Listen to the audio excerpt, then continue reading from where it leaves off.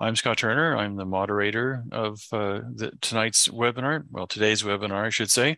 I say tonight because I'm in a different time zone, uh, six hours away, and it's nighttime for us. And our guest tonight is going to be Roger uh, uh, Pielke. He is professor of environmental studies at UC Boulder. Um, he works at the intersection of, uh, of policy, science, technology, and also sports. I read from your website, and currently he's on sabbatical in Oslo, Norway, helping them uh, build a, uh, a, center for uh, COVID uh, pandemic science and politics and policy. Uh, he's also proprietor of the Honest Broker uh, Substack. Uh, lately, he's been in the news uh, about uh, the hysteria over storms and hurricanes and whatnot. Uh, and one of the things that he is renowned for is asking people who make claims about climate uh, to actually take a look at the data because the data often say something different from what uh, we are being told. and so uh, uh, Roger will be giving us a presentation uh, tonight, followed by questions and answers. Um, we hope we'll have lots and lots of questions and lots and lots of answers for you. Let me just uh, mention that if you have uh, Q&A Q and or questions, uh, please use the Q&A button at the bottom of your screen. Uh, because uh, among other things, uh, it helps us put things all in one place and also gives you the opportunity to upvote or downvote whatever it is we're uh, talking about. So Roger, welcome to our webinar. And uh, can you tell us a little bit about what yourself and yourself and what you'll be talking about? Yeah, thanks, Scott. Um, I will share my screen and jump right into it.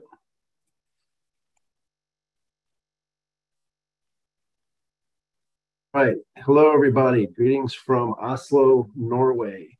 It's dark and cold. Um, I'm having a great time. Uh, the title of my talk, and I'm going to try to get through this pretty quickly. Um, I do have a lot of information, um, but I'm going to stay on target here um, so that we can have a good conversation. Is climate misinformation? And I'm going to explain to you what I mean by that in the talk. Um, so before I dive in, let's uh, start at the outset. Um, Climate change is, in my view, it's real, it's serious, um, and it deserves urgent attention to both mitigation and adaptation policies. Um, and if you're looking for an early Christmas gift for that special someone, you can get my views in detail in the Climate Fix uh, book I did on climate change um, that I think's held up pretty well. Uh, but nothing in this talk should be interpreted any any differently than, than this uh, opening statement. All right, so my main argument today is that climate science and, and climate journalism, journalism in general, with respect to climate, have a misinformation problem. Um, and it's uh, both uh, science and to some extent journalism uh, we expect to be self-correcting over time. And uh, these self-correction mechanisms have not always done particularly well. So my outline is um, i do have a bit more what i call throat clearing as background. I give you a little introduction to myself and some of my experiences in this field um, I'm going to go into three examples. All of them are in my areas of expertise hurricanes, disasters, and climate scenarios. And then I'll uh, end with some provocations about, well, where do we go from here? Um, given that there is, um, I think, uh, undeniably a misinformation problem out there. All right, so let me just tell you a little story. Um, in 2013, I was invited to testify. Uh, I've testified many times before the House and the Senate um, and at the time, uh, some of you may recall, the Intergovernmental Panel on Climate Change had just released a report called the Special Report on Extreme uh, Weather, uh, SREX. And my job at the time, um, as I saw it, was to summarize what that report said for senators, um, as well as the recent US uh, National Climate Assessment. Um, and much to my surprise and initial delight, um, my testimony, which isn't usually anything that goes viral went viral. Um, as you can see, it had more than 400,000 views on YouTube. Um, and so the views that I were expressing, which were really channeling those of the IPCC, um, got a lot of attention. And that led to a lot of interesting um, repercussions, outcomes. I'll just tell you a few of those. Um, John Holdren, who was uh, President Obama's science advisor, uh, posted a six page screed about me on the White House website. Uh, I think I'm the only US academic ever um, attacked by a sitting science advisor. Um, not long after, uh, Representative Raul Grijalva opened an investigation of me, um, claiming that I was taking money under the table from fossil fuel companies, um, which led to um, several years of, of, being under investigation. And I think, in my opinion, led to uh, my university deciding to close down two centers uh, ultimately that I was affiliated with. Um, in 2016, I was in the WikiLeaks. Um, surprise, surprise. Um, and in the WikiLeaks, it was revealed that there was a campaign to undermine me, funded by Tom Steyer, led by John Podesta at the Center for American Progress. Um, and I have more stories I could tell about Paul Krugman and, and Michael Mann. Uh, but let me just say it's been an interesting um, journey over the last decade or so. Um, and, and, I'll admit it can be unsettling when you find yourself the target of intentional misinformation. Um, if I Google myself, the, the, the, person that I see that comes up, um, I don't recognize uh, as myself. Um, so I do have an evil online avatar. Um, and I've come to learn that that goes with the territory. If you do work that has impact, that's broadly read, that's relevant in policy and politics, you know, buckle up. That's how it goes. Um, and ultimately, I found it pretty empowering. Um, I don't have uh, funding, I don't have sponsors, I don't have corporate money, um, and I don't have titles, I don't have positions. Um, but what I do is I have a platform and I have a voice. Um, and importantly, I have academic tenure. And I have decided that for the rest of my career, as long as I'm in academia, I'm going to use that tenure. Um, that's a little bit of background. So another thing I've done whenever I talk about extreme weather is I introduce people to you know, who I am a little bit through my politics. So I'm going to tell you who my votes for president have been. Um, in seventh grade, I don't know why, um, I was a fan of John Anderson. That's my earliest, uh, uh, uh, I would say, infatuation with the presidential candidate. Um, my first election I voted in, I voted for Jesse Jackson, then Bill Clinton. Yep, again. Then Ralph Nader. And like most people, as I got older, I took a sharp turn to the right after Jackson and Nader.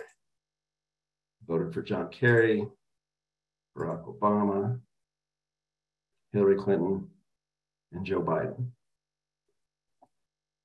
Um, I am often asked by people, why do I highlight misinformation from the so-called good guys on climate? Those people who may share my political leanings and are trying to support climate action. Why shouldn't I focus on the bad guys? Give the good guys a break. They're trying to do the right thing. So I have two responses to that. One is there has been an incredibly intense focus on climate information put forward opposed to climate action. And almost exclusively they're on the political right. Um, over the past five years, I just looked this up the other day on Google Scholars, there's 1,760 academic papers that are focused on so-called climate deniers, um, 1,260 focus on climate skeptics. Um, and I find that the focus on identifying, deplatforming, sanctioning deniers has become a strange and unhealthy obsession amongst those uh, on the political left. And in the upper right of this slide, just last week, a week and a half ago, David Malpass of the um, World Bank um, was accused of saying something that was related to climate denial, and there was a campaign by the New York Times and others to have him either removed from his position or resign. Um, this situation has become so unhealthy that in some areas of science, it's simply, you know, if someone disagrees with you, then you must be a denier. Um, and it's a very unhealthy situation. But the bottom line is there's no shortage of attention here. The more important fact is scientific integrity matters. Um, I wrote a whole book on this called The Honest Broker. Um, but irrespective of my or your politics, um, we should be able to agree that scientific integrity um, on any topic, whether it's uh, the pandemic, whether it's energy policy, uh, whether it's gender, whether it's climate, um, scientific integrity matters. And that's uh, where my commitment lies. All right, finally, still clearing my throat, then I'm about done to get into the, the action here. A bit more about me. Um, I wrote the first PhD dissertation, I'm pretty sure, in the world on the role of climate science in supporting climate policy. Uh, my first book uh, with my dad, my dad, um, was on hurricanes, 1997. I was a scientist at NCAR, um, National Center for Atmospheric Research in Boulder, uh, 94 to 2001, and I focused on extreme weather, uh, hurricanes and floods in particular. Um, my peer reviewed research was cited by all three working groups of the IPCC in the last two years. Um, and I've consistently supported action on climate mitigation and adaptation. All right, that's a bit about me, where I've come from, what I do, what my perspectives are. Let me say, as I get into these examples of misinformation on climate, none of that depends on my politics or my academic record. In fact, I would like to think that the, the cases I'm going to present to you here, hurricanes, disasters, and climate scenarios, are so clear cut. They're so obvious um, that we should be able to agree regardless of where we sit politically. So I'm going to go through each um, in a little bit of detail and set the stage for, for our conversation. So let's start with hurricanes. Um, and I'm not going to I'm not going to go through a litany of examples of misinformation. I'm going to give you the, the, actual science of hurricanes. Um, the, the, examples are so prevalent, um, so obvious, so common every time there's a hurricane nowadays. Um, I'm not going to waste your or my time um, citing that, but let's go into what the science says. So this is a figure, um, and if you follow me on Twitter or um, on uh, the Honest Broker, you've seen versions of this, and I update it every year as new data comes in. But what it shows is uh, continental United States landfalls of category one and stronger storms from 1900 to 2021. And the red uh, line there is just a simple linear least squares uh, regression. Um, it, it, looks like it's going down a little, but don't read anything into that. It's it, what we can say about this is it's not going up. And I have a lot of fun um, on Twitter and with journalists um, at big data journalism outlets and other places, um, because this figure, to my knowledge, has never been produced in the mainstream media. Um, which is shocking to me because the mainstream media loves to do graphs and data. Um, the landfall record in the United States doesn't go up. It's contrary to a lot of claims that are made.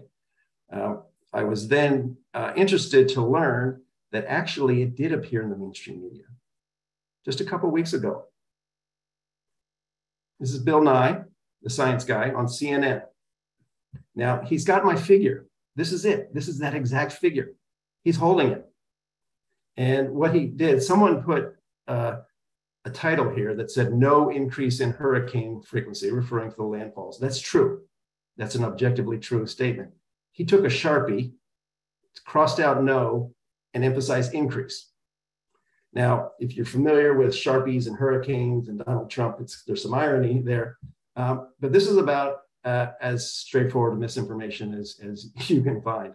Um, there's not an increase. And uh, uh, Bill Nye um, said that this is misleading information, um, which is interesting. So here's my graph, and there you can see it. So it's been in the mainstream media. I don't know if I can make that claim anymore. Um, some people would like to see what the most intense hurricanes are. This is category uh, category three, four, and five, the most intense storms. Um, and the most notable feature of this record is this period from 2006 to 2017, in which there were no intense hurricanes that made landfall. so for people who have come to climate awareness in the last two decades, um, it does seem like there's a lot more hurricanes than we used to have. Um, but if you were around in the 1915s, 1920, 1945s, 1950, um, the recent period is not unusual. This one also looks like it has a slight decline, but uh, the best we can say is over a century time scale, it has not gone up. And indeed, don't take it from me. Here's what NOAA says um, National Oceanic and Atmospheric Administration. After adjusting for a likely undercount of Atlantic hurricanes in the pre satellite era, there's essentially no long term trend in hurricane counts.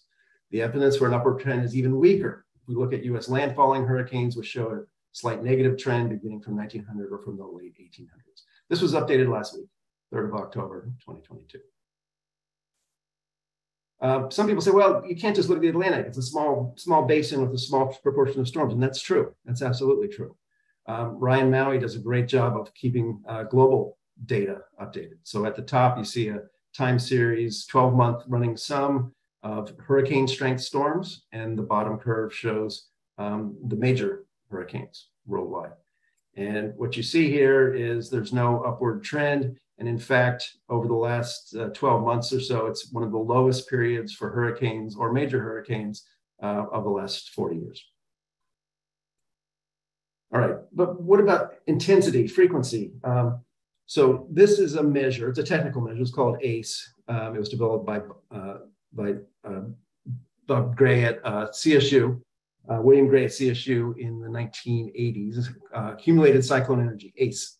Um, and it integrates uh, frequency and intensity. And uh, Colorado State University publishes a global data set of this, and I pulled it off the internet yesterday and graphed it um, from 1980 to 2021, so 42 years. Put the linear fit there. I mean, that's as flat as a pancake. So again, globally, uh, the most integrated measure um, doesn't show an increase. Uh, but again, don't take it from me. Take it from the U.S. National uh, or this uh, the IPCC, Intergovernmental Panel on Climate Change, the, the AR6. U.S. landfalls, no trend in the frequency of U.S. landfall events. Overall Atlantic hurricane activity, there's still no consensus on the re relative magnitude of human and natural influences on past changes in Atlantic hurricane activity. Globally, there's low confidence in most reported long-term multi-decadal to centennial trends in tropical cyclone frequency or intensity-based metrics. Sometimes I think uh, people like to have a go at me because uh, going after the IPCC would just be uh, be too difficult and too challenging, uh, even though the work I've done, my research and my conclusions are, are hand in glove with those of the IPCC. So is it possible that in the future climate change may result in more hurricanes or more intense hurricanes or a significant increase in hurricane rainfall? Could it change uh, landfall locations, make them more northerly or more southerly the southern hemisphere, or affect intensification rates? Um, or one day, can we detect impacts of sea level rise or damage? And the answer is, of course. These are all possibilities. Um, some have been predicted, uh, but we have to be sure that uh, we don't confuse hypotheses with conclusions. Um, if we're seeing things in 2022 that aren't supposed to emerge from the data until 2100 or 2200, um, then we have bigger problems with our, our projections. All right, I'm going to jump to the second example disasters. Um, I'm going to talk uh, briefly about global disasters, then I'm going to talk about the um, US disaster. All right. So this is um, this is a statement that's repeated. It's been repeated a number of times by the World Meteorological Organization in the last few years, uh, most recently last month. The number of weather, climate, and water-related disasters has increased by a factor of five over the past 50 years. And here's the Secretary General of the UN talking about floods, droughts, heat waves, extreme storms, and wildfires going from bad to worse, breaking records with alarming frequency. There's nothing natural about the new scale of these disasters. Um, and let me just say personally, I, um, in the 90s and early 2000s, I did a lot of work with the WMO uh, which I've always found to be a very strong science-based organization. And it is a little bit sad for me to see them go off into making statements like this, um, as you'll see in the next few slides. So the global disaster database, excuse me, is kept by uh, the Center for the Re Center for Research in the Epidemiology of Disasters in Belgium.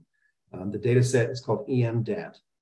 Um, in 2004, they put out a report on the, the disaster data set. And it had this figure in it. And so this covered um, disasters from 1974 to 2004. It was a 30 year look at disasters. And they have this figure two might lead one to believe that disasters occur more frequently today than in the beginning of the century. However, reaching such a conclusion based only on this graph would be incorrect. In fact, what the figure is really showing is the evolution of the registration of natural disaster events over time.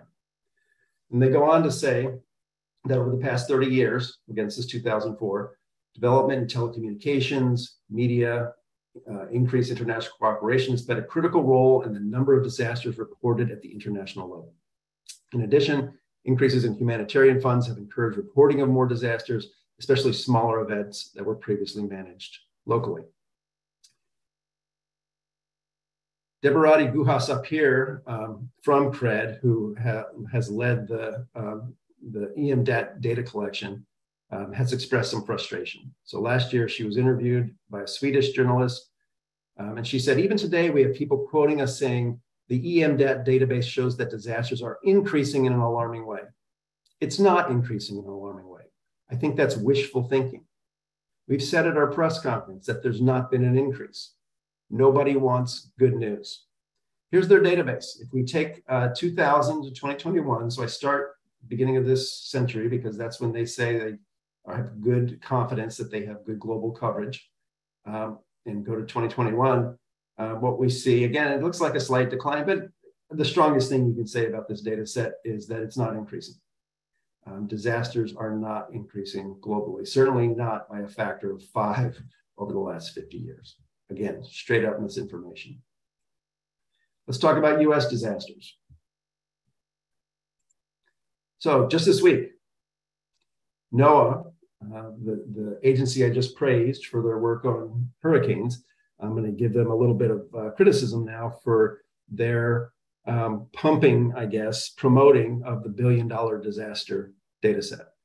Um, they collect a tabulation, just a simple count of the number of so called disasters um, that cause a billion dollars in damage. And they put out a little bar chart. Um, and so this week they updated it, I guess, after Hurricane Ian. Um, less than 24 hours later, um, an advocacy group called Climate Central pumped out to journalists around the country um, graphics and data on um, billion dollar disasters. And then voila, climate change is causing more billion dollar disasters. Um, it's, an, it's an interesting operation and it's waiting for some uh, smart investigative journalists to go on and see what's going on here. But let's just talk about the science here. Um, I've written a lot about the billion dollar disaster and I've done a lot of work on adjusting historical disaster losses for societal change. But here's what's wrong with the billion dollar disaster data set. On the left is Miami Beach in 1926, on the right, 2022. So imagine a big hurricane hits Miami Beach in 1926. How much damage is it going to cause? Not much. 2022, a lot. In fact, there was a big hurricane that hit Miami in 1926. Um, and we estimate, based on our research, that were it to occur today, it would approach $300 billion. Um, the reason for that, it could be an identical hurricane, 1926, which caused something like uh, $300,000 in damage, 1926 dollars, um, is more people, more property, more wealth. Yes, of course, billion dollar disasters are going to increase because we have a, a lot more stuff to be damaged. Um, straight up misinformation. So FEMA does something much more scientific, much more grounded in evidence and data that you probably never have heard of. It's called the National Risk Index. They take exposure, which is the value of buildings, population, agriculture exposed, um, the frequency and the loss ratio, and they come up with an expected annual loss. So for last year, if you take FEMA's National Risk Index, um, the expected loss from disasters last year was $141 billion, or about 0.6% of US GDP. If we take a look historically at losses, disaster losses as a percentage of GDP, this is from 1990 through 2019, the median loss is exactly at that 0.6% of GDP. So FEMA has done a pretty good job. Uh, but one thing that we see here, and this, this is fairly common around the world, um, at all income levels is there is a significant decline in disaster losses as a proportion of our economy. We are doing better economically with respect to disasters. Even as billion dollar disasters increase because we're more wealthy, our wealth and our ability to cope has increased much faster. You will never see this graph in mainstream media. But again, don't take it from me, take it from NOAA. Um, published a paper in 2013, partly motivated by my criticism of their methods. Um, and they did a nice peer reviewed paper. Um, and what they concluded was it is difficult to attribute any part of the trends in losses to climate variation or change, especially in the case of billion dollar disasters. Shortly after this, this quote appeared on their website, um, their billion dollar disaster website, and warned people not to use it to associate disasters with climate change that quote no longer appears. Right. This one is the big one. This is the, the, the elephant in the room. Climate scenarios. This is a big problem. So we use scenarios um, to envision different futures. Um, and this is a very useful graph. Um, and I'll show a few graphs that have kind of a cone shape to them. Uh, if we start today, now, there's not too many possible futures tomorrow and next week. But if we go 100 years into the future, there's a lot of possible futures. Um, some are plausible, they could happen. Um, there's business as usual, kind of where we're headed. Um, there's probable futures, what's futures that are more likely than others. It's, it's, it's probable I'm going to wake up in Oslo tomorrow and not Boulder.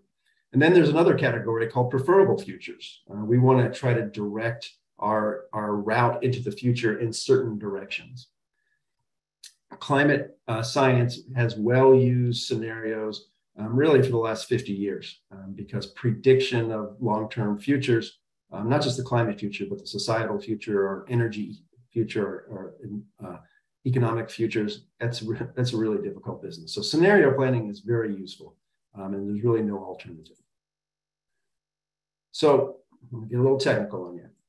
So about almost 20 years ago now, um, the, the scenario community that works with the Intergovernmental Panel on Climate Change, IPCC, um, started putting together new scenarios to guide climate research. Um, the IPCC in its fifth assessment report ultimately collected almost 1,200 of those scenarios. Obviously, 1,200 scenarios is too many to, to use in research. Um, and so what the uh, IPCC did was, uh, and I should say the IPCC community did, was select four of these 1,200 scenarios. Uh, we have done some work in recent years, and we've asked a question that um, really hasn't been asked. Um, now that we're in 2022, which of these scenarios remain plausible? Um, because as you go into the future, um, some futures become less likely and some become more likely because we move in certain directions. Um, and I'm happy to share these papers. We'll talk about it in the, in the, in the Q&A. Um, long story short, we found that some of these upper end scenarios are simply implausible. Um, these upper end, as you can see here um, on the vertical axis, this is emissions from fossil fuels. These high end scenarios envision a future where the world goes entirely to coal fired energy. We get rid of wind, we get rid of solar, get rid of, get rid of nuclear, get rid of natural gas, get rid of oil and petroleum. Um, we believe, and a lot of this um, was led by my colleague Justin Ritchie, University of British Columbia, um, who, who, really was the first one to crack this open um, almost a decade ago. Uh, the high-end scenarios are no longer particularly plausible.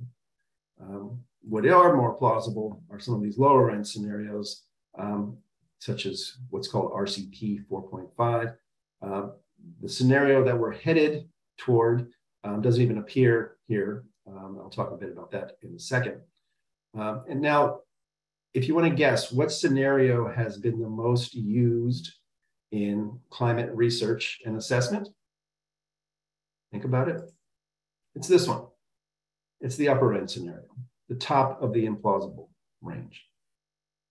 Now, you might say, well, you know, Roger, your work, maybe it's an outlier. Maybe you're, you're giving us some, some nonsense. This is a nice figure put together by Zeke Hausfather of recent studies from 2019 to 2022 um, showing different projections for where um, current policies are leading us. Um, so you can see different temperatures for 2100 here. And here's our study um, right here between two and three degrees. And what you see here is that most of these studies fall between two and three degrees. Some are below um, and some are above. Um, but it looks like at this point, on current policies, where the world is today, um, we're not headed to meet the Paris goals, but we're certainly not headed to four or five degrees Celsius by 2100. Um, so there's a, an emerging broad consensus in the literature. Now, why does the climate community focus on the most extreme scenarios? It's a long story. If you're interested, Justin Ritchie and I wrote a 21,000 word paper that goes into the, the, the innards and the history and the details. Long story short, the climate modeling community, that's what the CMIP 6 refers to, um, prioritized, so this is the high, prior, this is a the highest priority, the tier one, um, the high forcing, um, and the low forcing, this is the scenario that didn't appear in the IPCC. Where we're headed for is, is uh, low forcing, low priority. So the implausible scenarios, or what turned out to be implausible scenarios, um, were prioritized, and the plausible reference scenario was pretty much ignored. Now, to be fair and to give credit to the climate modeling community, there's reasons why you would want in climate research to use a high emission scenario, because then you can better separate out the, the signal of forced climate change from the noise of natural variability. Um, in, in scenario planning, you call those exploratory studies. Let's just see what happens. Um, it's not a prediction. Um, it's not the most likely scenario. It may not even be um, a plausible scenario. That's fine. Um, but what happened is that somewhere along the way, like a game of telephone, the high forcing scenarios became characterized as where we're headed, the most likely future. And no surprise, because the climate modeling community emphasizes these high end scenarios, they are also the most commonly mentioned in the IPCC reports. Um, 41% plus refer to this SSP 5 8.5 or RCP 8.5. Now, even as research has moved in the direction of suggesting that high end scenarios are less plausible, their role in the IPCC reports has increased. So this shows for working group one, which is the physical science in red here, um, an increase from 30 to 40% of the scenario mentions. Working group two, which is the impacts, um, you know, went from about 45% to 60% of mentions. Um, there's an overwhelming focus on extreme implausible scenarios. So what does this mean?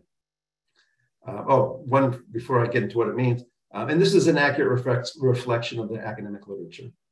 Um, most commonly used scenario in climate research over the last decade or so is the highest warming scenario.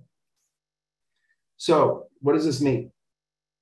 So, if you read something in the newspaper, and I, and I have for the last three or four years played a game on Twitter where there's a newspaper article and I'll mentions climate change is going to do this, that, or the other thing in 100 years. And I go to the underlying academic paper and I look up what scenario it uses. Um, I'd be willing to take good money with anyone that the odds are it's RCP 8.5.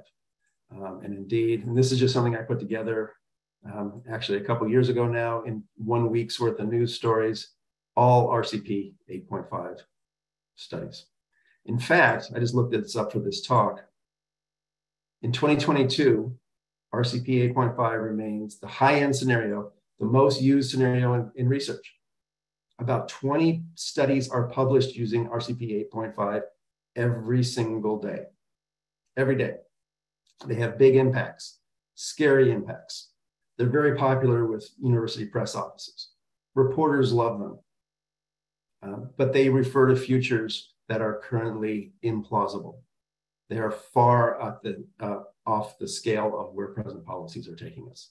Um, they paint a picture which is much more dire um, than the picture would be painted if we were using more uh, plausible scenarios. Now, this scenario use it's not just an academic question, it's not just a media question, it's not just a politics question.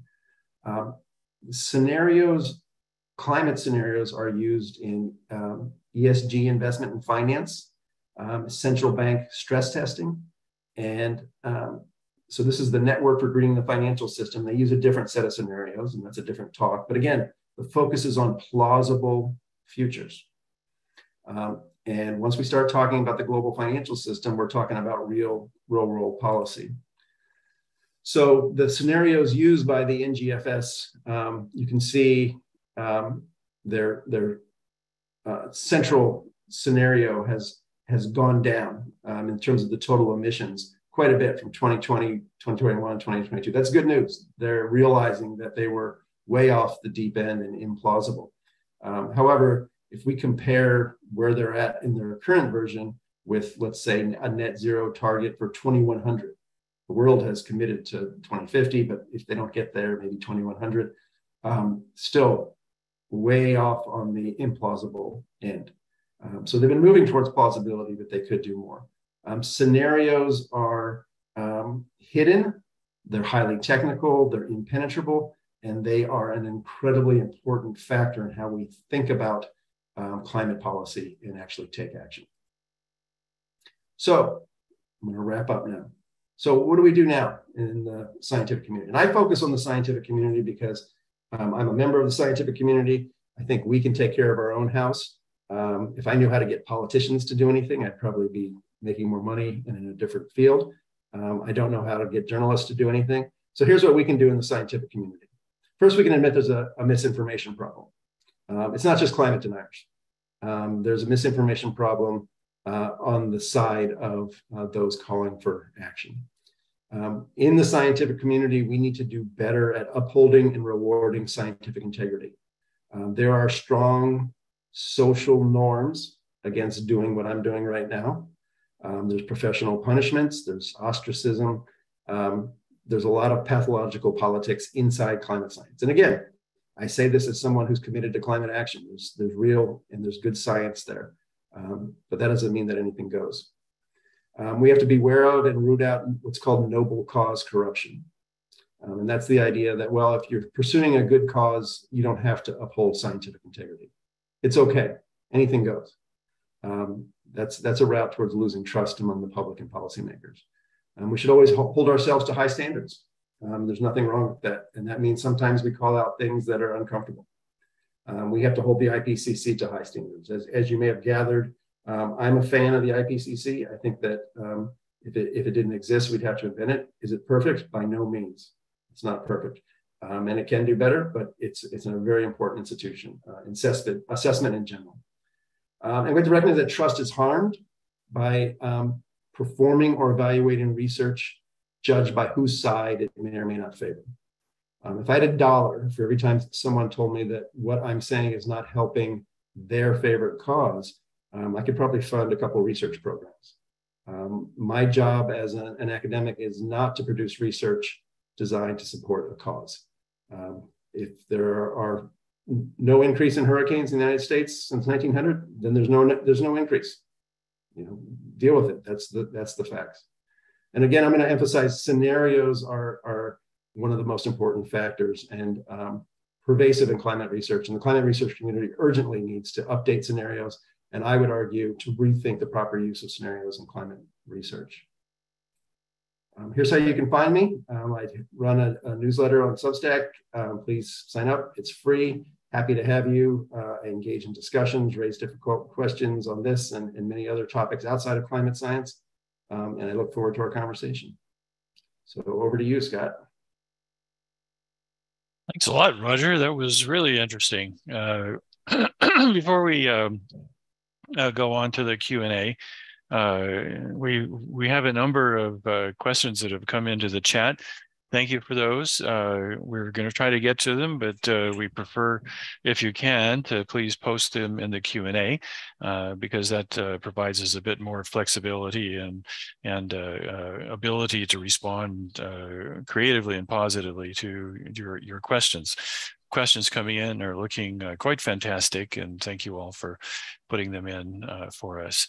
Um, I did want to um, uh, explore, before we get to the Q&A, uh, an interesting, well, something that was interesting to me in your presentation, and this is the tendency of of, uh, of people to go towards the most extreme uh, and implausible scenarios for for what's coming. And and you posted uh, several headlines uh, from different uh, uh, newspapers. Okay, you can excuse journalists for that, you know, because this is really just a version of if it bleeds, it leads kind of thing. It's the kind of thing that sells newspapers, but it doesn't really tell us why so many scientists are going for the most extreme and implausible scenarios. Why do you think that is?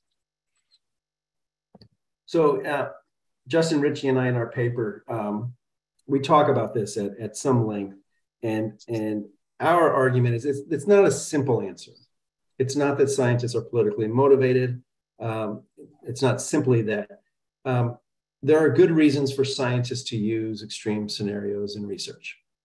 Um, but the incentives that we have in the media, in um, online media, on Twitter and elsewhere, um, as you say, the more extreme claims, um, tend to get more attention. Um, and that reinforces um, some of the dynamics of academia. Because if your work is in the New York Times or the Washington Post or the Economist, your university will send it around to administrators. Um, people who, who, who judge grants and write grants will say, Oh, I remember I saw that study in the, in the newspaper.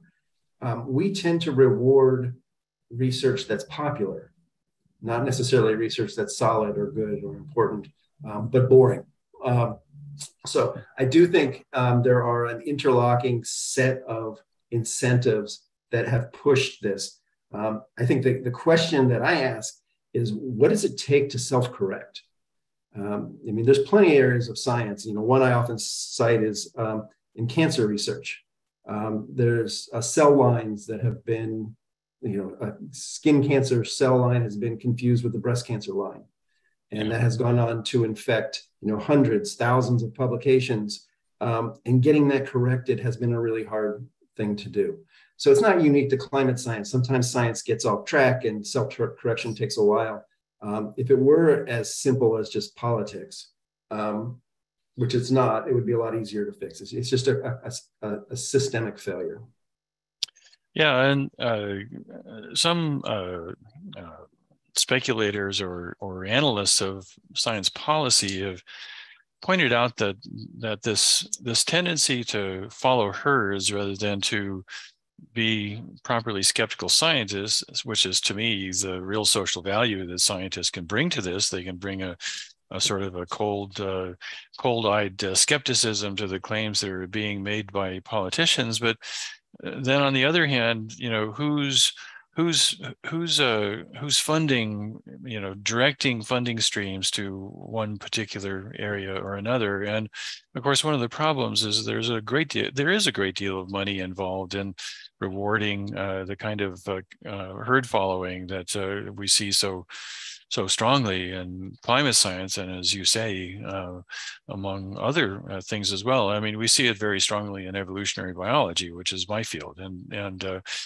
so um, this raises the question, you know, are we really making the right funding decisions for this, or is it uh, is there something there that uh, that where political imperatives that are actually driving a field of science much further than it should, just because there is so much money flowing through through that that that particular viewpoint?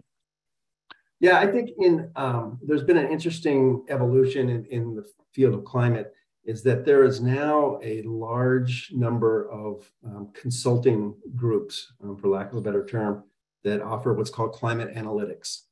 And they're telling companies, you know, we can tell you the risk you're going to have on January 30th, 2047 from floods um, in your zip code. Um, and they're using RCP 8.5 and RCP 4.5. Um, and there actually is, um, you know, I don't think that in in academia and climate, even in climate science, unless you're building satellites, you know, it's not huge money there. Um, but when you involve central banks um, and you know the the billionaires around the world, um, then we're talking real money moving around. Um, and so I do think that there are some incentives that again contribute to the lock-in. Um, who wants to be the person that spoils the party? Like me, you know, hey, you, you should be looking at 3.4 watts per meter squared scenarios, not 8.5. Um, yeah. That's that's not that's not too exciting. Yeah, yeah, yeah. Well, you know, I can say that I've been there as well, you know, in an area where there's not nearly as much money flowing, uh, you know, evolutionary biology, but uh, of course there is, uh, you still have the same kind of uh, structure of rewards and uh, incentives uh, that operate now that were really very different from the time when we scientists were supposed to be properly skeptical. You know, the the uh, stakes for being a follower of the crowd are much much higher now, primarily because there's so much money being involved in this, and those are ultimately political decisions, which of course ultimately politicizes science. And uh, this comes back to your question of how do you self-correct when when you have all the incentives pushing everyone in one direction. I mean, there's no incentive to self-correct. Yeah, I hear from a lot of people, and it's it's actually an increasing number that people, you know, I'll give talks like this, and you know, I give a lot of talks around the world. People will say, you know, I, I you know, I agree with what you said about you know hurricanes or scenarios. but I can't say this in public. Mm-hmm. And uh, you know, quite aside from politics and money, um, there are social pressures in our communities, um, and you know, part of it might be you're worried that you might be um, identified or called names or or whatever, or you might be seen to be you know with the bad guys. So I think again, I think it's really complex. I think it's an emergent system that has a lot of interlocking factors. Um, yeah, maybe money's a factor, maybe politics are a factor, but there's social norms, there's career pressures, there's university pressures, there's you know, publication pressures, and all of those uh, in, inter, interact with each other. Yeah, and of course, when you have tenure, as you mentioned, uh, you can uh, stick your neck out a little bit more than the up and coming young scientists, and uh, they're the ones that are facing the career pressures and uh, disincentives most strongly, I think. And so, how do we how do we embolden them? How do we protect uh, young uh, scholars who don't have tenure to be able to speak up in a properly skeptical tone, as you do? Yeah. So, I mean, this is one, and this, I mean, the only, I wish I had, a, you know, a good answer to these issues, but the, yeah, the one that I, I, keep coming back to is, uh, is leadership within the scientific community. Yeah. Uh, we need people at um, national academies, federal agencies, uh, professional associations who are willing to make space for people to um, disagree, to debate, to hold views that may be politically unpopular on the left or the right. Um, too often, I think in the last 20 years, we've seen leaders in the political community um, who, who maybe wish they were advocates or working for an NGO or a member of Congress and pushing the cause. Um, and that just becomes more chilling for, um, for, for young academics. So again, we need uh, leadership that, that says, you know, hey, it's okay. Um, you, you know, any one of us can be wrong on any topic, but it's okay to mm-hmm. air the ideas because that's how all the ideas get stronger. Yeah. Do you see that leadership coming from the from the scientific community? Do you see that coming? Um, I'm optimistic, but um, I haven't seen a, a, particular groundswell of support. I mean, I guess you know another area I work in is the pandemic, and it's really interesting to see um, with respect to generally with respect to pandemic modeling, um, not the origins debate, but pandemic modeling and how to deal with the pandemic. Um, in different places around the world, there's a recognition that more diversity of expertise um, would have been beneficial in, res- in responding to the pandemic. Um, it's quite different than the climate area. Um, so I do think these issues are very contextual and you know, the, the local politics, let's say, of, of climate versus the pandemic or other issues um, really dictates, you know, whether it's a, it's a, the field is healthy or not. Yeah, yeah. Well, it's a uh, it's it's a topic I think we could go on uh, for another uh, half an hour at least, uh, if not more. But I see we've got the questions and answers, and also uh, uh, questions in the um, in the chat.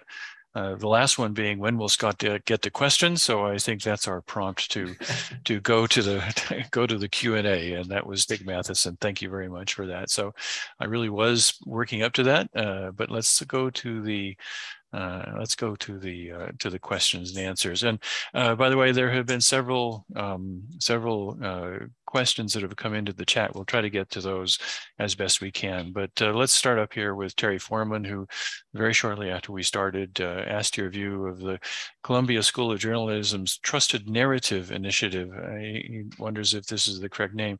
They send out the climate narrative for all journalists to push in the uh, MSN. Uh, what do you know about this Trusted Narrative Initiative?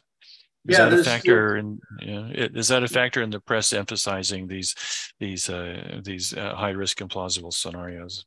Yeah, there has been a rise um, in in I guess the last decade, let's say, of, of fact checking and you know, stamps of approval and you know, Pinocchios that are put on claims.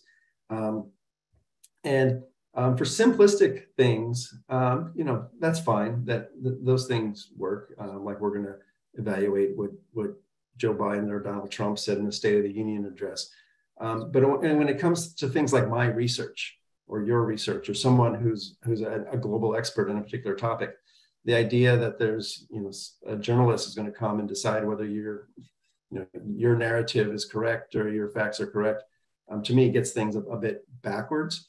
Um, and there's been a lot of discuss. I teach this in my classes about challenges with, with the idea of fact checking and coming up with a single truth. Um, I prefer very much um, that we rely on robust assessment processes um, like the IPCC or the equivalent, um, where experts come together and hash it out. Um, every time I see a newspaper article about hurricanes that does not reference the IPCC, I know that you have a reporter that's freelancing and you know picking cherry picking the experts they want and the narrative they want. So no, I'm not a big fan of journalism um, putting stamps of approval on experts. Yeah, yeah. Yeah, I mean, of course, you know, the ideal role of journalism as well as scientists is to uh, empower people to make up their own minds on on yeah. something, give them the information, and equip them to be able to do this. Um, okay, so let's continue. Uh, old guy, whoever you are, um, he asked what percentage of climate change is natural versus anthropogenic as a result of mankind's use of fossil fuels. Is there misinformation about this question? Um, that seems to be getting a bit away from what you have been uh, uh, saying, which is you look at the data and then you look at what politicians are telling us, and you find that there's often a real disconnect there. But uh, can you comment on you know what's natural and what's anthropogenic? Yeah, I mean, and I I I'd uh, refer the old guy, you know, to the IPCC, and not everyone agrees uh, 100% with what the IPCC mm. says on that working group one, um, but that's mm. fine. Um, and you know, I'll rely on something that I learned from my my father carbon dioxide from the emission of fossil fuels is a first order climate forcing. Yeah. So uh-huh. you know, people can quibble over what percent it is, um, but the reality is until our emissions go to zero, it's going to remain a first order climate forcing. So yeah. it's the sort of thing where decimal point accuracy is less important than knowing the big picture. Um, and that's why I've long supported going to net zero carbon dioxide. Uh-huh. It's yeah, yeah, yeah. Um, here's Terry Foreman. He asked a question that actually is is uh, uh, close to home here where I am. Um, uh, he, he says that uh, uh, what's your view on mitigation versus adaptation? And let me put that into context. I'm I'm sitting here in the country of Namibia right now, and Namibia has adopted a very aggressive climate policy. Uh, they're looking to get to net zero by 2050, along with many of the other countries that are there. And the curious thing about that is that Namibia accounts for 0.003% of global carbon emissions. And nothing that they do will have any impact on the global carbon budget. Yet there's a, a huge amount of money coming in to this country uh, from uh, the Green Climate Fund, other kinds of governmental uh, organization funding of various kinds of projects here, approved projects, meaning of course solar and wind, uh, not nuclear, curiously enough, but but but but nothing on development of uh, fossil. There are already uh, significant fossil fuel reserves, and you know when you're talking about a developing country. Um, uh, then, of course, uh, in order to, to develop, you need energy to be able to pull that off. And and uh, the, the justification for spending all this money in Namibia is for mitigation of supposed uh, climate disasters that are that are coming up. And there's a whole you know basket of things that people put into mitigation, like uh, contour plowing, uh, don't throw your food away, uh, uh, you know these these kinds of things, and and so this is a kind of a distortion of the political economy of a country that that uh, uh, actually is kind of holding it back from what it should be doing for for economic development in its countries. Now, uh, and this, I think, is a common scenario in uh, a lot of developing countries that actually don't contribute very much to uh, the global carbon budget. Uh, uh, yet there's money to be able to fund this kind of uh, thing, usually actually going on with very implausible scenarios that you mentioned. And that's an example, I think, of, of how political money can really distort a um, the, the development plans of a development country and in ways that I think people in the north and west don't really uh, uh, uh, appreciate. But that was my long-winded uh, introduction to this question. Uh, uh, so seems like mitigation in short term is futile and risky, probably wasted investment to a large extent in terms of bang for your buck. And here he's he's channeling Bjorn Lomborg. And adaptation seems a no risk approach and better insurance. Um, so mitigation versus adaptation. Uh, uh, uh, mitigation is probably driven by the very implausible scenarios you're talking about. But what about adaptation? Do you see do you see uh, advocates for uh, adaptation also being driven by these very implausible scenarios? Yeah, so I've I've written a lot and for a long time about uh, mitigation and adaptation. And, and one thing is I use the the the word in the middle, not versus, but and. Um, and, and, as you say, well, I mean, adaptation is necessary not just to climate change, but to climate. Uh, many places around the world are poorly adapted to the existing climate where people um, and species actually live. So um, so adaptation is a necessity. And it just turns out that if we become more robust to climate, we become more robust to climate change. Um, adaptation is really important. Uh, mitigation is also important. Um, and as you say, there are parts of the world where um, there's you know two to three billion people um, who lack access to modern energy services. Um, and if uh, you or I or anyone listening to this um, didn't have electricity, um, we would want electricity and we would want it whether it was powered by coal or nuclear or wind or whatever because living a life without electricity is pretty hard so so mitigation has to proceed um, in a way that allows energy access to expand uh, but also um, for societies to keep the lights on. Um, there are there and this is something that gets underplayed. There are good reasons to mitigate so to get off of fossil fuels let's say that are completely independent of climate. Um, so, you know, I'm, I'm, sitting in, in Europe right now, and uh, the, the, the, war in Ukraine um, exposed uh, the vulnerabilities of relying on a, uh, you know, dictatorial petro state. Um, so it's, it's, um, it's good policy. And we also want energy to be cleaner, not just carbon dioxide, but particulate pollution from burning things. Mm-hmm. Um, so there's a lot of good interlocking reasons, but you know, the, the what will um, measure progress with respect to mitigation is going to be the cost and de- deployment capabilities of energy technologies. Um, if we had a little box that would produce, you know, vast amounts of energy for free with no pollution, all right, problem solved. But, but, it's not that easy. Not so, so yes, we have to adapt and we have to mitigate. They're not trade-offs. They and as the um, as Terry Foreman says here, they proceed on different time scales. Uh, but we're mm-hmm. smart enough to walk and chew gum. Yeah, I mean, we've been adapting to climate for centuries, really, you know, and it's uh, and so yeah, it's a it's a I'm, I'm not sure a, a big uh, restructuring of our economy is necessary to be able to prompt people to adapt because they do do it uh, normally. Uh, William Fletcher has a kind of interesting uh, interesting question here. Uh, he cites two recent uh, uh, papers it puts ECS at a fraction of a degree. Strong evidence presents presents strong historic evidence of warmer Roman and medieval periods. What do you think of this evidence, and why are you so confident that the current climate situation is serious? Yeah, I'm going to pass on that one. Uh, You're going to pass. Okay. All right. Okay. All right. Uh, and uh, he's uh, right. Uh, things seem to be updating here, and it's jumping around. Um, here we are. Barry uh, asks, in discussing climate scenarios, you use the term current policies. What exactly are those policies, and do they assume achievement of net zero by 2035? Yeah, thanks, Barry. Good question. Simple answer. Mm-hmm. Current policies um, are generally, and there are a number of different groups around the world that, that do this is they take policies that are on the books today, not promises, policies. So net zero by 2035 is not uh, is a promise. It's not a policy, and they simply extend those policies out into the future with no changes. Mm-hmm. Mm-hmm. So mm-hmm. um, they do have um, targets, and they use those to come up with another set of scenarios. But current policies is basically think it think of it as freezing today's policies and then seeing how that future evolves. Yes, yes. Okay. So it just projects that into the future, then the consequences. And uh, uh, so that was Barry. And uh, you'll like Ivan Oven, great speech, Roger.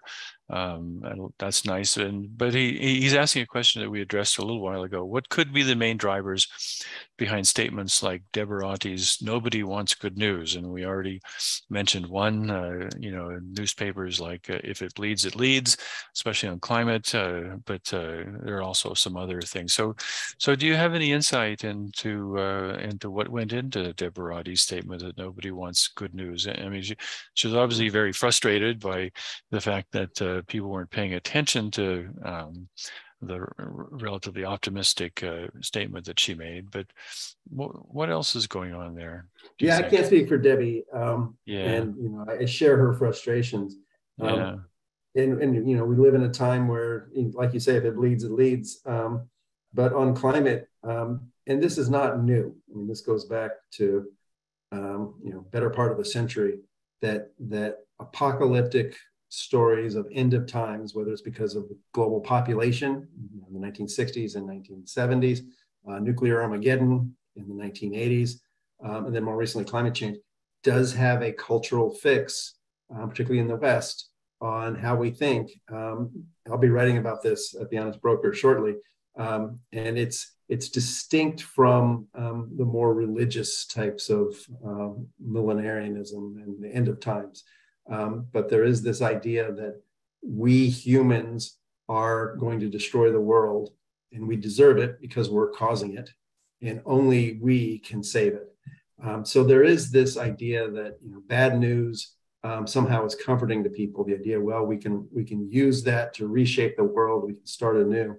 Um, um, and you know, in my own work, um, you know, explaining to people that once you adjust for more people and more population, uh, hurricane damage hasn't gone up. And that's not that that's not an exciting story. You're not going to have a headline on that. So I, I mm. get kind of the media dynamics, but I do think there's a much mm. deeper underlying cultural sentiment um, behind that.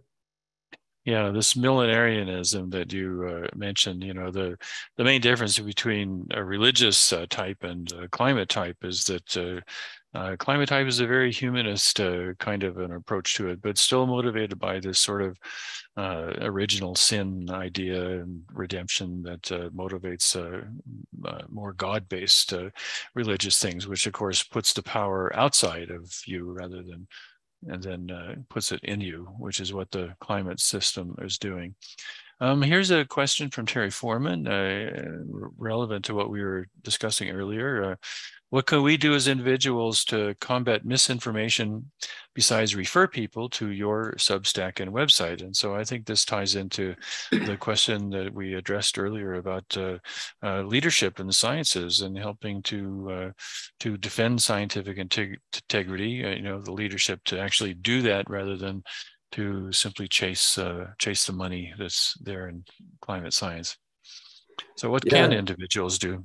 Yeah, it's a really, really good, good question. Mm-hmm. It's really hard because it's difficult. Um, I mean, I mean, you and I, and probably many people who are listening, um, who might have PhDs, we're experts in one little thing that's yeah. like this narrow and really deep, yeah, and on yeah, everything else in the world, we don't know. Yeah, and minus so, termites.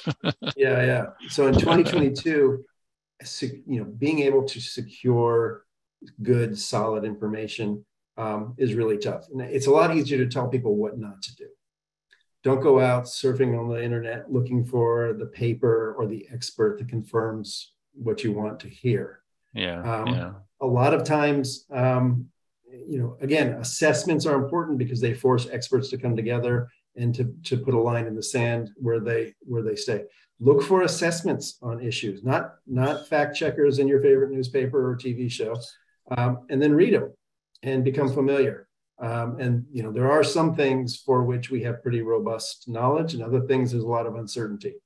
Um, and in a lot of policy realms where I work, um, smart policy fortunately doesn't depend on everybody agreeing on the underlying science. Mm-hmm. Yeah. Uh, what makes yeah. sense on mitigation and adaptation of climate change, um, I think I can make an argument to you know, the left and the right without having everybody agree on you know, exact details of equilibrium, climate sensitivity, or or anything like that. Yeah, yeah, but you know, getting getting back to this this this issue of of of integrity in the sciences. Uh, David Gall- Galligan, yes, Galligan in the uh, in the chat has a has I think a relevant question.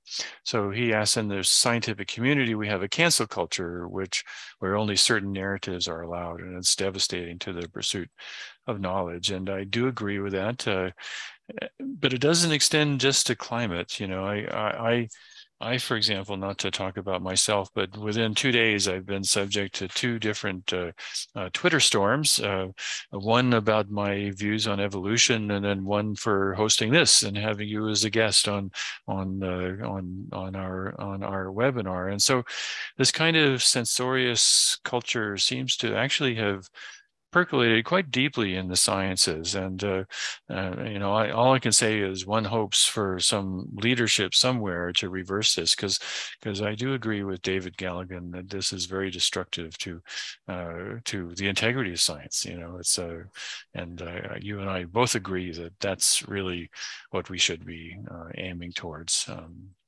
that was just yeah, a comment I, I, on my part. Mm-hmm. Yeah, and I, you know, I have a, a, slightly different view. I mean, one of the things mm-hmm. I've learned um, which I think is is you know for me it's empowering.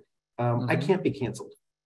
Um, you know, I, I, I was I got hired in a high profile job working for Nate Silver almost a decade ago, um, hmm. writing on environmental issues, and he was going to let me write on sports. And there was a campaign, a public hmm. campaign, a Twitter storm, um, and I got fired from that job because um, he couldn't take the heat. Um, and for me, at the moment, I thought, oh boy, I've been, you know, this was before people use the word canceled, but you know, I've been canceled, I've been eliminated. Um, but it turns out in 2022, I have far more, I have tens of thousands of people reading my Substacks every week. Um, and you know, one of the strengths of academic tenure is that you can't be fired for your views. Um, people can make your life difficult. They can put pressure on you. They cannot send you Christmas cards, not invite you to parties. You might not get your grants funded. Um, but you know, guess what? If if that's the price to pay for having broad impact and voice, it seems to me that's pretty fair. So so I think that um, I mean this is part of the problem is that we teach young scientists now to become science communicators, go out in the world, and then people are shocked when there's pushback, there's angry people, there's mobs, there's outrage, there's ignorant people, there's you know take your pick. Um, guess what? It's a privilege to be an academic and a scientist that has something important to say about important topics. So, you know, I, I tell, you know, my colleagues that if you, it's, it's the old saying, if you can't take the hit, heat, get out of the kitchen.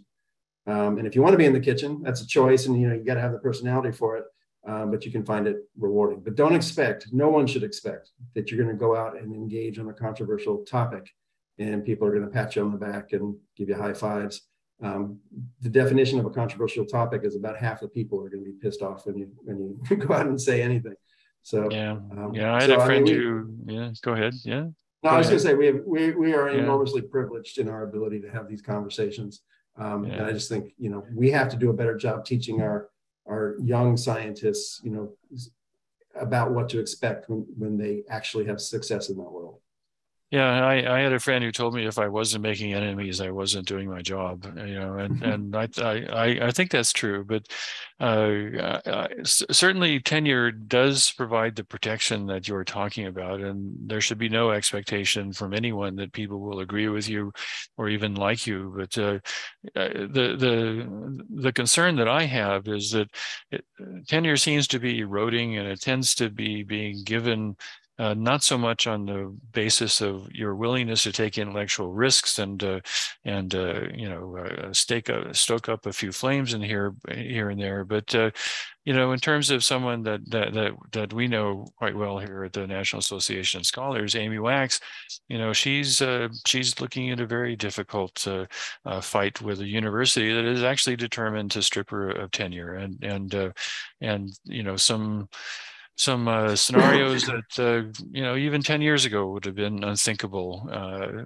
in terms of administration's treatment of of, uh, of, of controversial academics. And we are kind of getting back well, I don't want to say we're getting there, but we're kind of edging towards the the uh, the, the, old uh, days when uh, uh, a university could actually terminate someone's tenure and get rid of them for inconvenient views. And no, uh, I you know I agree with that hundred percent. I you know I, yeah. I think that the, the, mm-hmm. issues of so-called cancel culture are one thing, but the yeah. erosion of support for tenure, whether it's state legislatures and public universities, or yeah. weak, uh, I would say, administrators um, yeah. is is extremely troubling um, because tenure is what allows me to do what I do um, and other yeah. academics. Mm. And I think the threats, um, the political threats to tenure, and some of it's you know some of it's driven by politics, sure, and some of it's driven by the budget model of higher education today, where it's yeah. just a lot easier to have you know instructors um, and temporary workers and postdocs who don't get paid much, don't have health insurance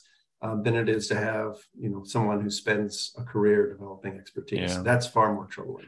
Yeah, yeah. Um, you may or may not want to uh, engage Dick Matheson's excuse me, question. Uh, uh, how do major media rate in terms of accuracy for New York Times, Washington Post, Wall Street Journal, CNN, Fox, etc.? Um, you may not want to get into that because you may not want to make more enemies than you already have. But uh, do you have any thoughts? Uh, do you care to? Uh, yeah, I mean, it's talk um, about those. or. Yeah, I mean, I'm happy to talk about. I mean, in my areas of expertise on climate change and you know disasters and scenarios, um, there's some problems. Um, but in general, you know, I have a lot of respect for the media. I read, I mean, I'm a pretty voracious reader and I read across the political spectrum and I encourage people to do so um, and triangulate a bit. Um, yeah. The, the, media is just a, you know, first draft of history and sometimes it's pretty far off, but um, yeah. being engaged and yeah. consuming a diversity of stuff is what I recommend to, to my students. Yeah, yeah.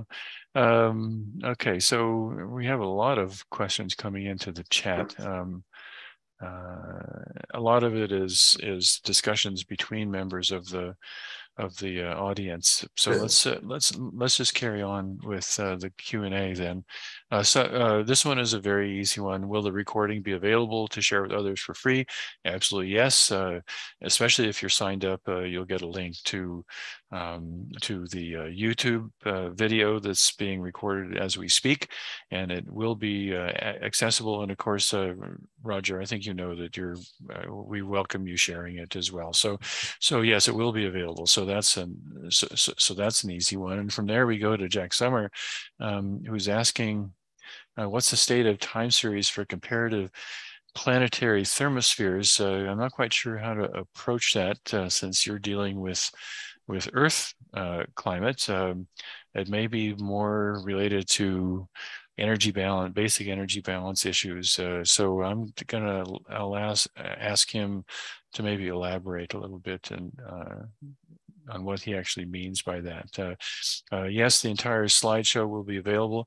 Now that's different from the recording. Of course, uh, Roger, I'm, I, I, I, don't know what you plan to do with the slideshow. I imagine that you'll probably post it on your website. Uh, yeah, it's going to appear in 18 okay. minutes.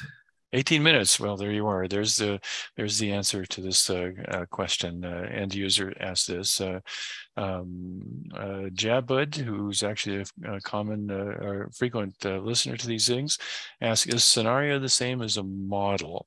And I would say probably no. Um, a scenario is ways of playing out the implications of a model, but that's just my thought. Do you have any yeah, so in the climate space, a scenario is uh, a plausible representation of how the future might evolve. Let's think of it mm-hmm. like a mm-hmm. story. Um, mm-hmm. And then scenarios get elaborated into greater details um, through um, things called integrated assessment models. So the scenarios can be the product of a model. And then what comes out of those models can be fed into other models, Earth system models, mm-hmm. to, to suggest how the climate It, it's ridiculously complex and jargon filled. Um, but when I'm talking about scenarios here, these are the inputs that go into uh, Earth system models that project. Yeah, yeah, yeah. Okay. Um, uh, this uh, question from A. Maruza has come up uh, and in various other kinds of contexts. It has come up uh, as well. And I see the battery on my mouse has just died. So let me just switch to my my uh, touchpad. Uh, asking about this whole issue of existential threat um, of climate change. And uh, uh, there was one um, question about can you address Antarctic versus Arctic uh, ice sheets? Have you done any work along those lines? Um, and well, I'm not sure what the question is we should ask about existential threats. I I think that uh, that's often used, trotted out as a means of panicking people into supporting something that they otherwise wouldn't. But um, uh, from your perspective, is there any credibility at all to existential threat scares about climate change? Yeah. So if, if, if I mean, I, we've all heard the, phrase existential threat. You know, Joe, President Joe Biden likes to use it. Um, if it means we're going to cease to exist as a species or some countries will cease to exist.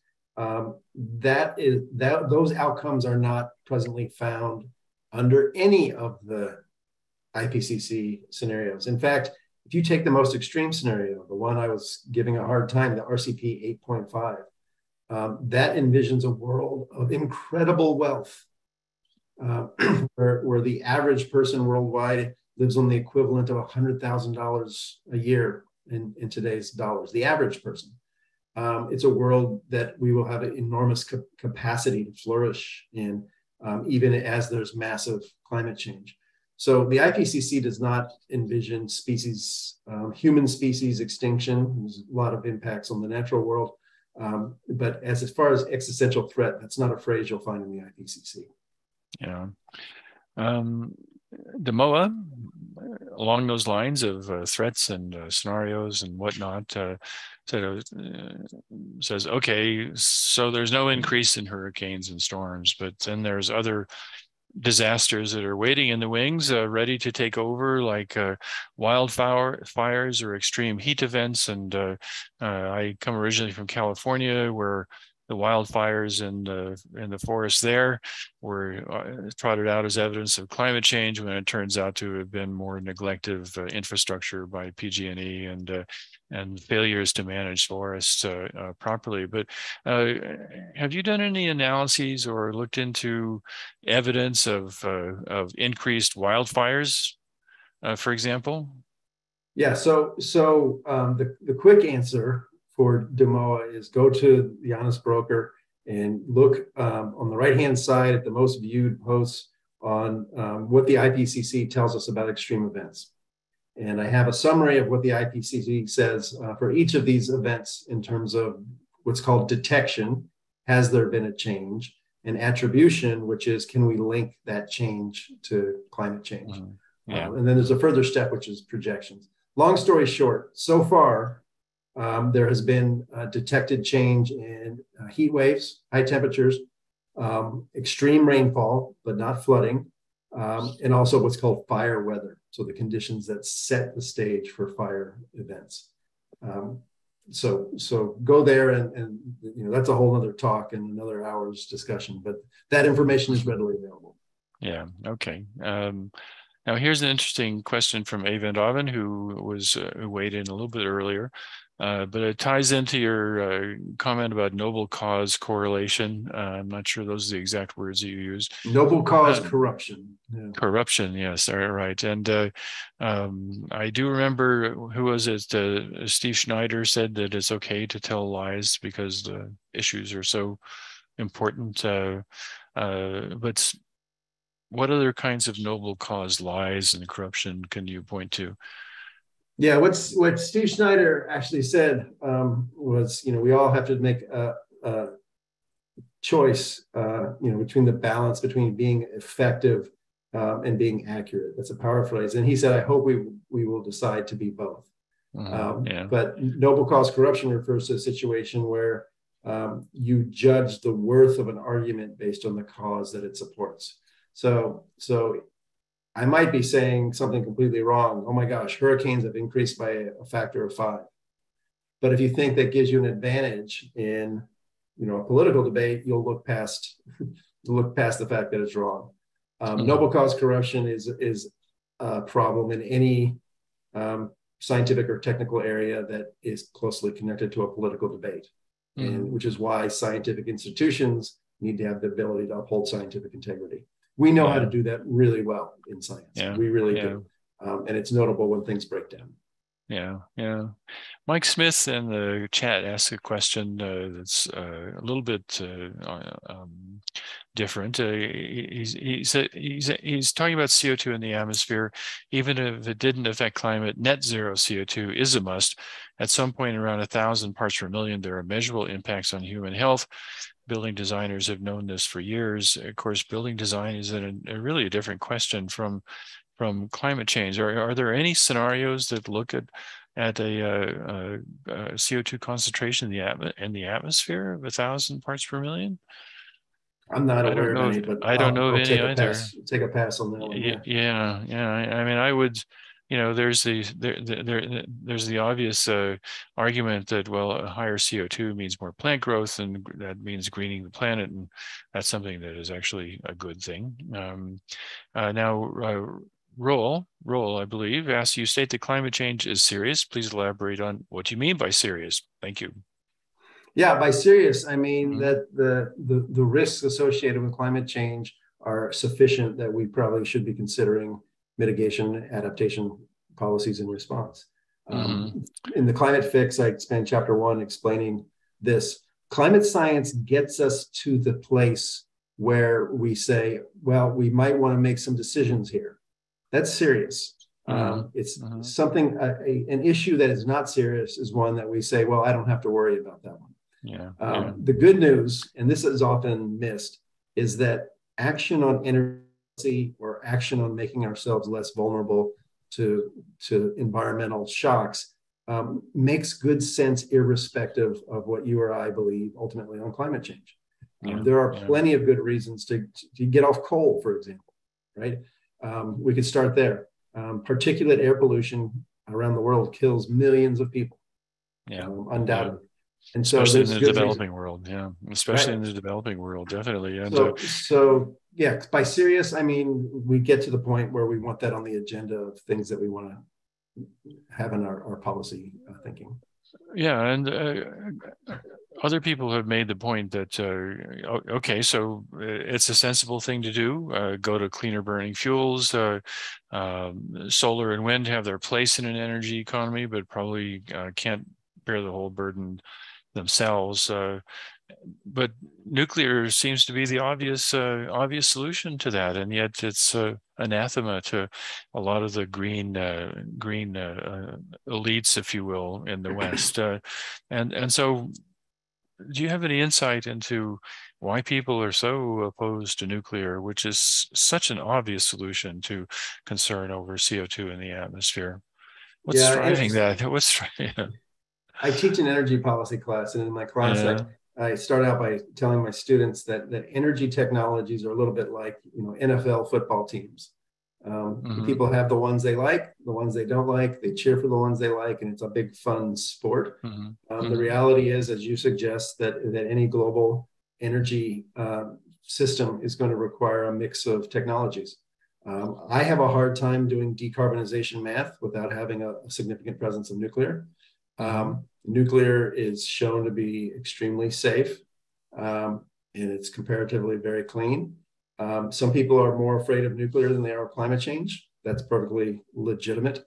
Um, Mhm. One of the things we're seeing um, is, um, despite you know some opposition to nuclear in Europe and North America, um, nuclear energy has a future, and it may be in the East um, to start with. But um, I have no no worries that nuclear energy is um, somehow going to disappear. It's um, it's too powerful and big a technology for energy production um, to think that it's going to go away.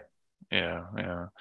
Okay, so we're going to be switching now to most upvotes. Uh, we've been trying to get through them uh, by the as they come in, uh, but let's let's uh, uh, take a look at a few questions that are uh, that are given the most upvotes. And of course, this is why we like to be in Q and A. So here's one. Um, uh, let me just uh, get up there so I can see who it is. Uh, Oyston Shirley. Uh, is the climate science community attracting and recruiting people who have strong climate doomsday beliefs before they start their research careers? Um, And then the second phase is some climate scientists say that you might be right, but not helping the cause.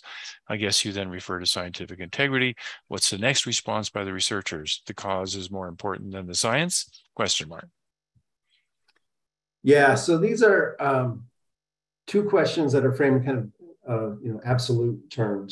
Um, I've noticed among my students that I've had over the last 20 years, um, you know, 20 years ago, the, the interest in climate science was people who loved the climate, wanted to model the climate, um, and weren't so focused on um, activism or, or politics. And obviously, as the topic has grown in significance and political importance, um, there's a lot of people who have come into climate science who um, have a more activist bent. That's not necessarily a problem. A lot of those folks become frustrated when they learn that science doesn't move the world. Um, mm. But like any high profile area, of course, there's going to be a diversity of, of motivations there. Um, yeah. yeah. and I, I, do hear from people often and, and more on the activist bent that, that the work that I do doesn't help the cause. I first heard that in, in 2001 um, when I was asked to brief a number of senators, members of the cabinet, um, and I've heard it since. So, um, of course, again, it's it's kind of the, the, the landscape you'll find when science meets politics. Um, and I haven't, I've met very few people who argue against the importance of scientific integrity. So I think that's yeah. uh, even in the even in highly politicized cases, uh, most scientists subscribe yeah. to the importance of integrity. Yeah, yeah. Okay, so uh, uh, Shirley is is uh, has another question. Actually, it's got a lot of, of votes. So, are there any other areas in science or research which are analogous to the climate misinformation trend? And uh, I've already mentioned uh, evolutionary biology is one of them. Um, we can certainly look at COVID, which is right up your uh, alley. Um, so I wonder if uh, uh, perhaps your COVID work uh, could uh, fill in. Uh, yeah, well, I would point. Question. There's actually in the last, you know, last little while, last decade, a little bit less. Um, there's something called the replication crisis um, mm-hmm. in a mm-hmm. number of areas of science, where it's discovered that that research that was published and maybe was famous or um, got a lot of attention um, ultimately could not be replicated when um, this has happened in psychology, um, in economics, and other fields. Uh, and, and there's been a kind of a reckoning of, um, of misinformation or, or low quality research in a number of fields that I think has been quite healthy. It's been very contested, it's been challenged, it's been politicized. Um, I don't think climate has quite had its moment there, but I think uh, it's not. Yeah it's not unique in the landscape of, of, of science and research. Yeah, yeah. Okay, I think we're getting towards the end of our of our uh, time here. So I'm just doing a quick scan through questions. Uh, filtering by uh, upvotes has uh, come up with a number of uh, number of questions that we've already answered. Um, uh, Seth Foreman, uh, for example, uh, this is one we haven't answered. Uh, is there anything about increases in global CO2 emissions that concerns you? Yeah, absolutely. That's why it's mm-hmm. serious. right. Um, so, yeah. so, so, yeah. yeah. I mean, that's kind of where we started with this this conversation. So, yeah. so yes, um, yeah. absolutely. Yeah, yeah. And uh, someone asks, uh, Eduardo Alvarez asks, uh, what do you think of Bjorn Lomborg's approach? You know, I've known Bjorn for 20 years. I first met him in Italy, and um, we we uh, were on a panel um, debating each other on these issues. Mm-hmm. Um, and I have a lot of respect for Bjorn. Um, he's uh, uh, been very consistent in his views, and um, you know sometimes he's more minimizing of climate change than I would than I would be. Um, but on the need for adaptation, the importance of economics in structuring uh, mitigation, um, you know, I think he's he's got a lot of smart things to say. Yeah. Okay, well, on that, I think uh, we'll wrap it up for tonight. Uh, Roger, thank you very much for being our guest tonight. Scott, thanks for having me. It was a fascinating discussion, and uh, uh we left a number of questions unanswered. Uh, I'm sorry we couldn't get to them all, but uh, Roger, let me ask if you'd be willing to field questions from the people who are still have questions. And yeah, absolutely. People can find me easily on Twitter, and you can find me at my Substack. Um, yeah. And feel free to participate there or one or the other place. And um, I'm always happy to take questions. I'm an open book. So Great. Okay. Thanks again, Roger, for appearing on our webinar. And uh, this uh, webinar will be up on YouTube very, very soon. And uh,